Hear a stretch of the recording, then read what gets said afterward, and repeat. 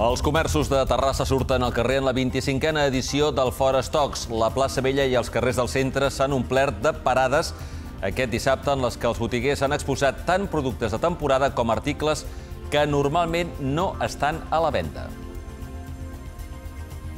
El Terrassa Futbol Club s'ha proclamat campió de Catalunya femení de futbol platja després de derrotar aquest diumenge el Roses Platja, que regentava el títol de la passada edició en la final disputada a Torre d'Embarra. L'equip agarenc s'ha imposat per 4-3 en un partit molt disputat i que no s'ha decidit fins a les acaballes. El Terrassa suma així el primer títol de futbol platja en categoria femenina. La seu d'Ègara s'omple de música durant tres dies amb el festival d'estiu organitzat per l'Orquestra de Cambra Terrassa 48, un festival únic dedicat a la música escrita per a la formació orquestral de cordes. El certamen vol esdevenir un marc de referència i un punt de trobada cultural en els estius terrassencs.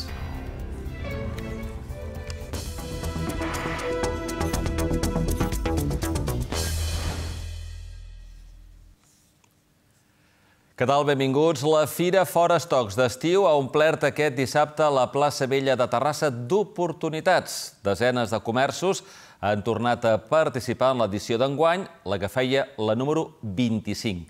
Per als comerciants ha estat una bona oportunitat de donar sortida als productes. Els comerços de Terrassa han sortit al carrer en la 25a edició del Fora Stocks. La plaça Vella i els carrers del centre s'han omplert de parades en les que els botiguers han exposat tant productes de temporada com articles que normalment no estan a la venda. Doncs per nosaltres és una experiència molt bona, perquè nosaltres som una botiga online, llavors no tenim botiga física i és diguem, doncs, l'oportunitat que tenim doncs, per donar-nos a conèixer, que la gent ens conegui aquí a Terrassa, donar també, doncs, estem donant descomptes per després una propera comprar online, llavors està sent positiu per això.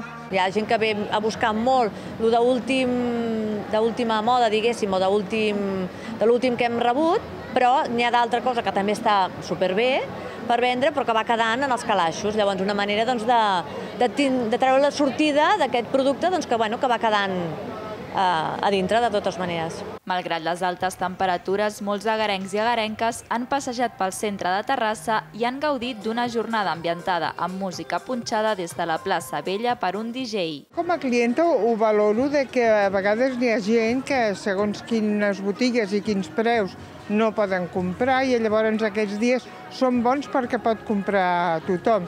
I la mercancia és la mateixa, vull dir, perquè els productes són els mateixos i es beneficia molta gent. La majoria de comerciants coincideixen a dir que el matí ha estat el moment de més vendes del dia i algun dels botiguers reclama una major promoció de l'esdeveniment. Sería más útil si se diera más a conocer, porque en años anteriores ha habido publicidad del Fora Stocks, cosa que este año no ha habido publicidad más que en redes. No ha habido publicidad como años anteriores de carteles publicitarios en eh, puestos en, eh, aquí en la ciudad.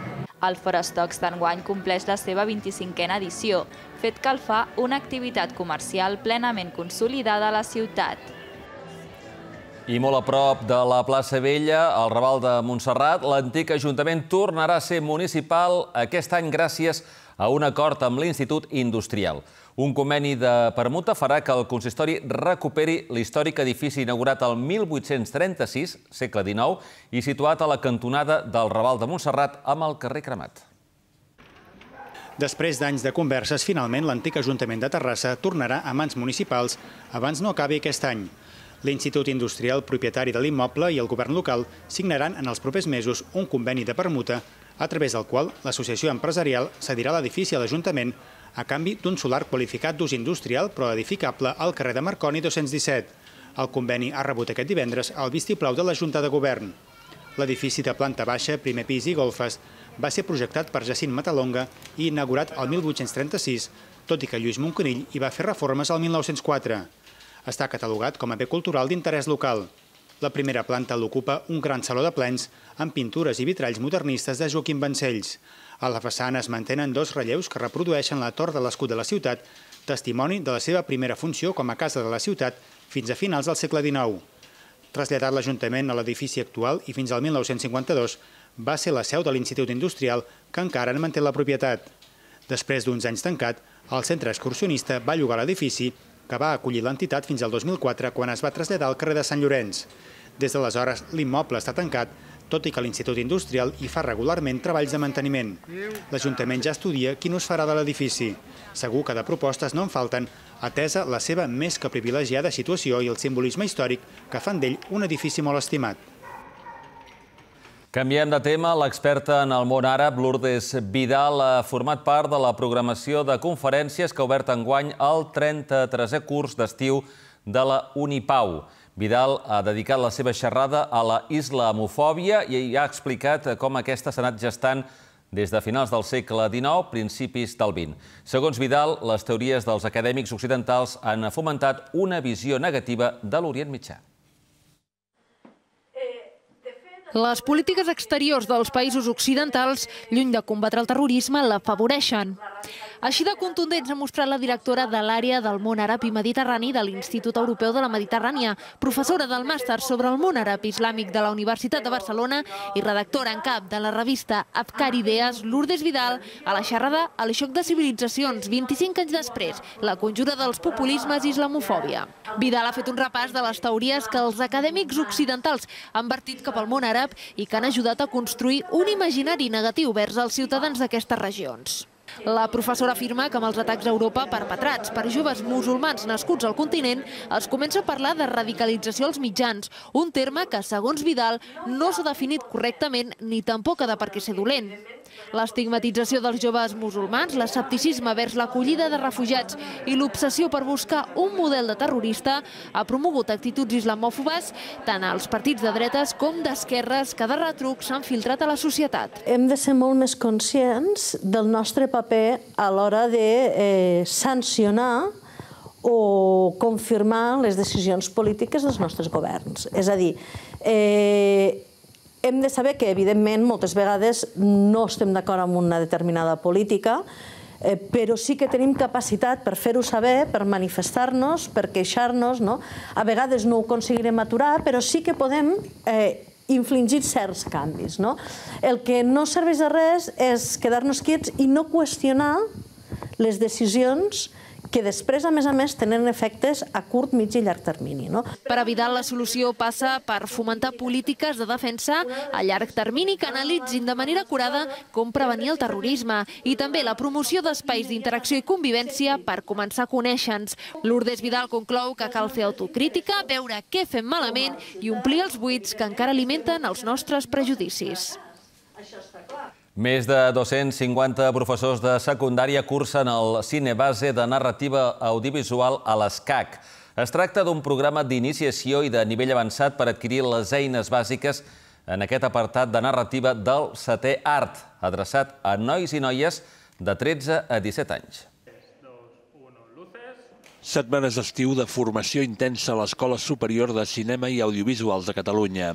Més de 250 professors de secundària i uns 250 alumnes més d'entre 13 i 17 anys participen aquests dies en la tercera edició del Cine Base, un programa d'iniciació i de nivell avançat per adquirir les eines bàsiques de la narrativa audiovisual. Uns cursos sobretot pràctics que passen per la fotografia, el muntatge, el so, el guió i la direcció d'actors. I tot perquè els professors adquireixin unes competències que després podran aplicar en els projectes dels seus alumnes de secundària.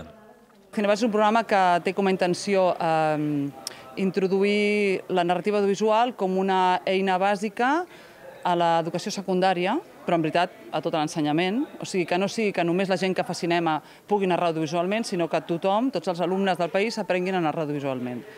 Fem un curs intensiu de formació per a professors de tot el país. Durant una setmana fan sessions de matí i tarda molt intenses, tot pràctic, o sigui, tot és rodar, muntar, rodar, muntar. Llavors, en aquesta setmana, ells dominen una mica les eines bàsiques de la narrativa visual per després utilitzar-les a les aules de qualsevol assignatura, de qualsevol departament. L'activitat és intensa i després de treballar el guió i d'altres coneixements d'aula, el programa passa per rodar, muntar i projectar el treball elaborat en un sol dia. Una experiència que alguns professors repeteixen almenys a mi personalment ens dona un punt de vista diferent de com són les pel·lícules, com es fan i la dificultat que tenen. I a nivell d'aplicació d'aula amb tots els recursos i limitacions que tenim en els instituts, de fet nosaltres ho apliquem ja en algun projecte que fem. Vaig fer una performance a l'aula, treballar amb pintura i bueno, vam muntar un tinglado classe, vam acabar fent doncs, una expressió visual artística amb color, pintura, nens de l'ESO, de primers, després els de quart, que eren els que organitzaven l'activitat, i tot això ho vaig, in, ho vaig eh, traslladar a vídeo. La nostra companya eh, té una frase que és eh, que no poden, sempre els diu no sense el guió, és a dir, no podeu començar a gravar sense el guió. Jo penso que ens va agradar molt la frase i ens l'hem agafat com lema dels nostres projectes. Fareu un curt al final, però no sense el guió. I a l'ESCAC doncs, estem trobant totes aquestes eines que, que necessitem en, en aquest dia a dia. La meva valoració és molt, molt positiva.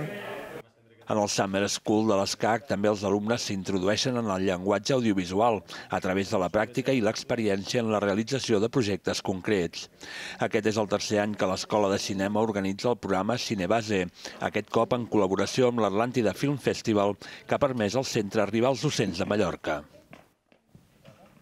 El regidor de Solidaritat i Cooperació Internacional, Adrián Sánchez, ha participat aquest dissabte en el Festival de l'Acollida d'Estiu 2018 als infants d'Ucraïna que estiuejaran a Terrassa. L'activitat ha estat organitzada per l'associació TANU Terrassa Acull Nens d'Ucraïna i s'ha fet al Centre Cívic Avalí Estranger. L'ONG TANU organitza cada any acollides de nens i nenes refugiats que viuen en situació d'abandonament o marginació i d'infants d'orfes. L'entitat fa cada any reunions informatives per trobar famílies que vulguin acollir aquests nens i nenes. TANU és una organització sense ànim de lucre que fa més de 10 anys que treballa amb la infància que viu en orfenats d'Ucraïna. És que, Alegria, si vosaltres, molt breument, perquè jo penso que... El Mercantic ha celebrat aquest diumenge a Sant Cugat el Mercat d'Antiguitats i Artesania Arts i Crafts. L'esdeveniment ha portat a l'espai objectes d'elaboració pròpia i articles de segona mà. Les antiguitats i els objectes de segona mà s'han donat cita aquest diumenge al Marc Antic amb el Mercat d'Art i Artesania Arts and Crafts. Més de 10 paradetes han ofert tot tipus d'articles, entre els quals els visitants han pogut trobar bisuteria, terrissa, roba i jocs de taula per als més petits de la casa. Tot i que el Marc Antic ha programat diferents activitats al llarg de l'estiu per mantenir obert l'espai al públic, l'arribada de les vacances s'ha fet notar i l'afluència de visitants ha estat inferior a l'habitual. Tot i així, els paradistes artistes es mostren satisfets. Normalment hi ha fires que són molt cares pels expositors i costa molt recuperar i aquí almenys és econòmic i ve gent, fan bona publicitat i l'organització està molt bé. Está cerca, está céntrico, es un sitio, un complejo bastante grande, hay bastante oferta. Eh, ahora en estas fechas afloja un poquito porque la gente se va de vacaciones, pero bueno, no nos podemos quejar, vaya. Estamos empezando ahora y, y ofrecemos pues cosas hechas a, a mano, como antes se hacía. Les activitats al Marc Antic no s'aturen i l'espai organitzarà els dos propers diumenges al Mercat de Pusses i al Mercat del Disseny.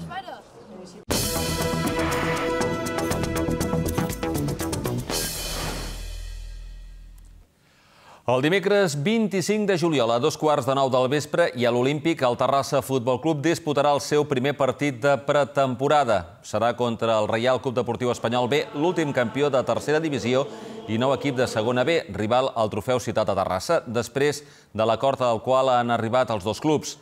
L'entrada serà totalment lliure per als nous abonats, mentre els que no ho siguin hauran de pagar 3 euros. Per aquest partit només s'obrirà l'accés per la tribuna. Un bon test per al conjunt de Cristian García, que quatre dies més tard afrontarà la primera eliminatòria de la Copa Catalunya contra el centre parroquial Sant Cristòbal.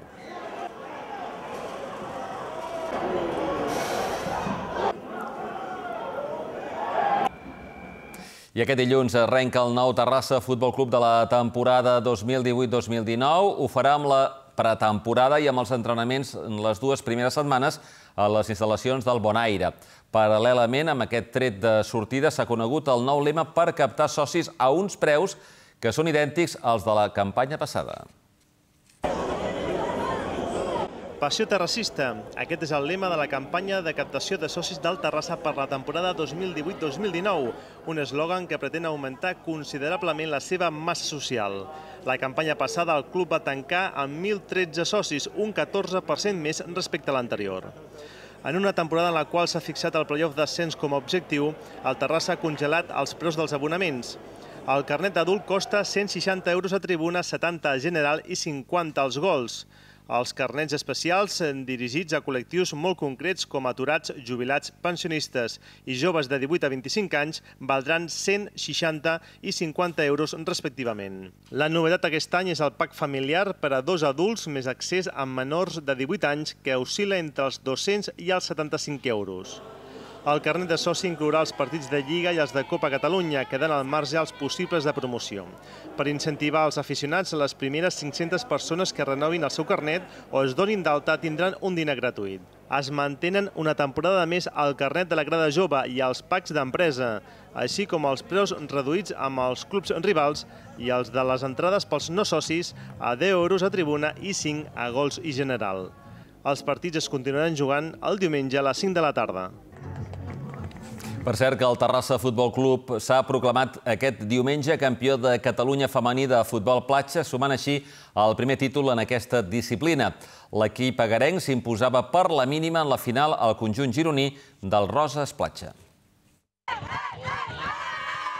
El Terrassa Futbol Club s'ha proclamat campió de Catalunya femení de futbol platja després de derrotar aquest diumenge el Roses Platja que resentava el títol de la passada edició a la final disputada a Torredembarra. L'equip vermell s'ha imposat per 4 a 3 en un partit molt disputat. El Terrassa ha començat bé i en la secada inicial ha inaugurat el marcador amb un forxut d'Elba Vergés. Havien passat només 3 segons. El conjunt gironí ha reaccionat, però el pal ha evitat l'empat abans de finalitzar el primer quart. En el segon, Raquel Guerra ha ampliat les diferències, creuant un xut al segon pal però el Roses ha respost un minut més tard amb una falta transformada per Carla Morera. Sílvia Ferrer ha empatat a la final amb un gran gol de falta des del mig del camp, però l'alegria dels Roses ha durat poc perquè Gemma Sala ha desfet l'empat en rebre la frontal de l'àrea, girar-se i fer el 3 a 2. En els últims 7 minuts de partit ha seguit l'emoció.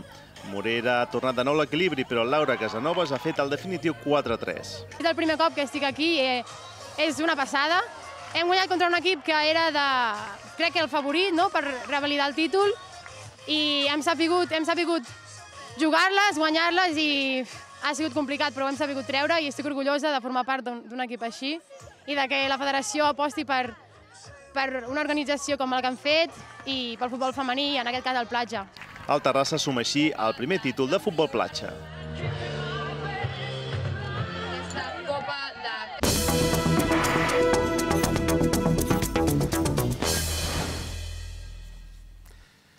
Sant Cugat ha dit adeu aquest diumenge a les sales de Cinesa de la ciutat que marxen després de 26 anys oferint cinema a la ciutadania.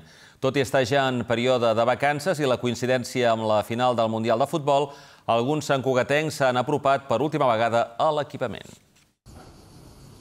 Els cinemes cineses s'han acomiadat de Sant Cugat aquest diumenge després de 26 anys a la ciutat, amb les últimes projeccions de les estrenes a les seves sales que faran a la ciutat. A partir d'ara, l'espai que deixen lliure les dues sales servirà per ubicar la sala polivalent, mentre que el govern local vol mantenir a la planta inferior dues sales que segueixin oferint els cicles de cinema i la versió original, a més d'altres projeccions. L'arribada de les vacances i la final de la Copa del Món de Futbol, segons han apuntat fons de l'empresa, han provocat que la Déu hagi estat menys emotiu per la falta d'afluència al cinema. Tot i així, alguns sancuatencs s'han volgut apropar per última vegada a l'equipament. Hem que buscar a Barcelona, a veure on anar. Al Cinesa Diagonal, suposo que és el que queda més a prop.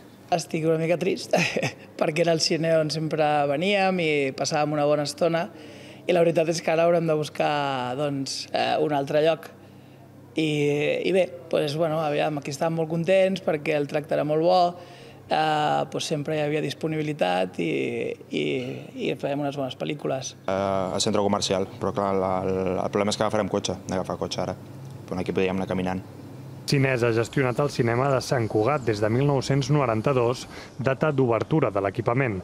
Durant aquest quart de segle a la ciutat, les sales han acollit activitats com els cicles de cinema d'autor, clàssic, temàtic i fantàstic, a més de les habituals estrenes de les últimes novetats de la cartellera.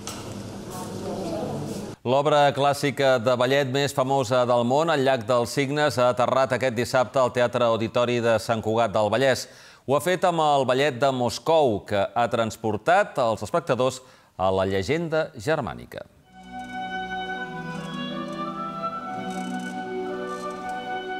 La dualitat del bé i el mal i les emocions humanes han pres protagonisme aquest dissabte amb el clàssic de la dansa El llac dels signes, que ha arribat al Teatre Auditori de la mà del Ballet de Moscou.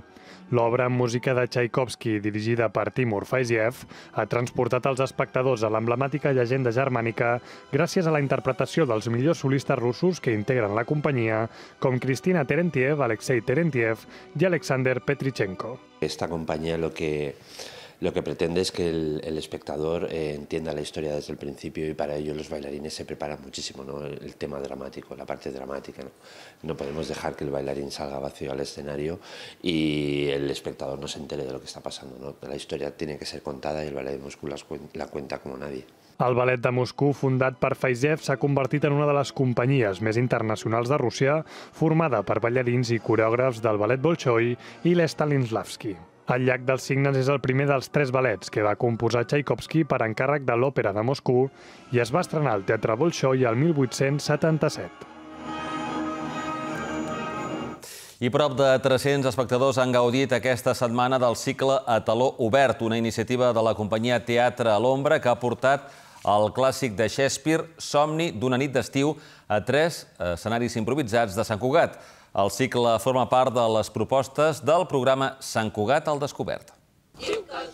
Apropar clàssics teatrals a peu de carrer i a l'aire lliure sense escenografia, luminotècnia ni amplificació. La companyia Teatre a l'Ombra ha tancat aquest divendres el cicle a taló obert amb la darrera de les tres representacions de l'obra de Shakespeare Somni d'una nit d'estiu, una comèdia romàntica clàssica amb les característiques idònies, segons assegura la companyia, per ser representada a l'aire lliure tenen generalment un argument molt assequible, que si es perd el fil es torna a enganxar molt fàcilment, expliquen històries senzilles, però que normalment són vigents, eh, sempre són intemporals, i això els fa perfectes per, per aquest tipus d'activitat.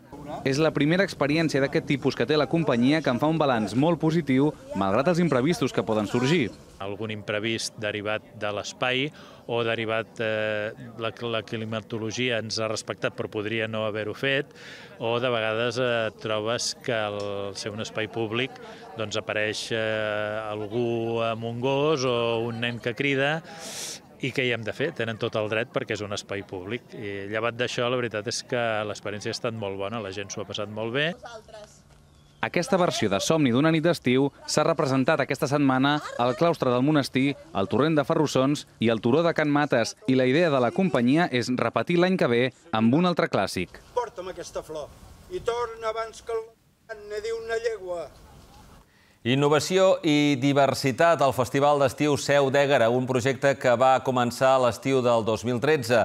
El certamen està dedicat a la música escrita per a la formació de cordes, amb l'objectiu de divulgar i permetre investigar la música catalana o també diferents estils musicals. En els tres dies que ha durat el festival, el públic assistent ha pogut gaudir de tres concerts. La Seu d'Ègara s'ha omplert de música durant tres dies amb el Festival d'Estiu organitzat per l'Orquestra de Cambra Terrassa 48, un festival únic dedicat a la música escrita per a la formació orquestral de cordes. Anem consolidant amb el temps, esperem consolidar-la encara molt més, que realment la població de Terrassa se'l faci seu, se'l faci com una, uns vespres que pot sortir el juliol i trobar-se música, música amb diferents eh, vessants, amb, amb diferents formats, i esperem que realment el, el nostre gran objectiu és, en res, en breu, dos anys màxim, poder aconseguir que la ciutadania realment se'l faci com a, el seu festival d'estiu. El cicle de concerts va començar amb la veu de la mezzosoprano Mireia Pinto i cinc postals barroques. Dissabte era l'espectador qui triava d'entre un repertori d'obres de totes les èpoques i tendències de la cultura musical de la mà de Josep Pedrals.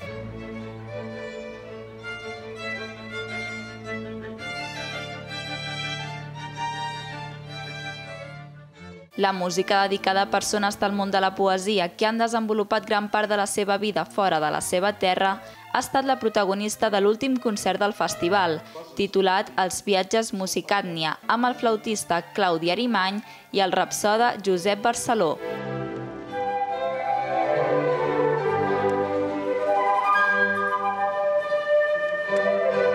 El Festival d'Estiu Seudègara vol esdevenir un marc de referència i un punt de trobada cultural en els estius terrassencs. Durant els mesos d'abril i maig, la Casa de la Música de Terrassa va programar dos cursos de percussió, el taller d'iniciació de Gembe i el taller d'iniciació a la Darbuca. En tots dos casos no era necessari tenir coneixements previs de música ni tampoc de percussió. Precisament aquest cap de setmana s'ha fet una festa de cluenda amb la participació dels propis alumnes. La Casa de la Música de Terrassa ha celebrat el fi de curs dels tallers de djembe i d'arbuca, dos instruments de percussió amb orígens ben diferents. Els cursos han servit per apropar ritmes d'altres continents a la ciutat. Eh, l'instrument de percussió eh, sempre atrau perquè amb poca base tu ja de seguida pots construir un ritme. I bàsicament és això, obrir a la ciutat eh, la possibilitat de conèixer una mica més a fons aquests dos instruments, un d'origen àrab, l'altre d'origen africà, i res més. Durant els mesos d'abril i maig, una vintena d'alumnes dels dos tallers ha pogut fer una aproximació als instruments a través de les seves tècniques, ritmes i patrons bàsics en un total de sis sessions. Bueno, este es un instrumento eh, árabe, de, de, de, la cultura árabe. Eh, es, es, un instrumento donde maneja otro tipo de técnicas. Yo vengo de la percusión latina, afrocubana, eh, afrocolombiana. Entonces maneja otro tipo de ritmos, otras acentuaciones. I hem après principalment els tipus de so que té, que són tres tipus, i, i bueno, a fer-los sonar en diferents eh, ritmes eh, procedents africans, diferents mètodes, alguns ens hem posat a ballar també per seguir la, diguéssim, la, eh, el ritme que es crea, no? I, és, hem estat 12, 12 o 14 alumnes i bueno, es crea un, una atmosfera molt maca i el profe era molt bo i per tant hem après molt. La festa de Cluent ha comptat amb el músic terrassenc Paca Clotet, que ha fet una exhibició amb la seva bateria. Tot seguit, tant alumnes com professors han protagonitzat una jam session, és a dir, tocar música a través de la improvisació. Els cantants, algun havia fet alguna cosa, però majoritàriament i aquest divendres es feia precisament la cluenda dels cursos dels Bucs Bauman al pati del Bauhaus, al bar de la Casa Bauman. Ha estat un acte gratuït i obert a tothom, on els alumnes i professors han interpretat tastets musicals a partir dels continguts adquirits durant els tallers. Els Bucs Bauman estan organitzats pel Servei de Joventut i Lleure de l'Ajuntament de Terrassa i estan gestionats per l'Associació per la Promoció Cultural Indirecta. Situat als baixos de la Casa Bauman, els Bucs ofereixen diversos serveis a les bandes residents i al públic en general. Durant l'any es programen formacions i tallers musicals d'iniciació. S'organitzen concerts en viu, es programen concerts i es fan assajos oberts al carrer a càrrec dels grups que assagen regularment, entre d'altres activitats.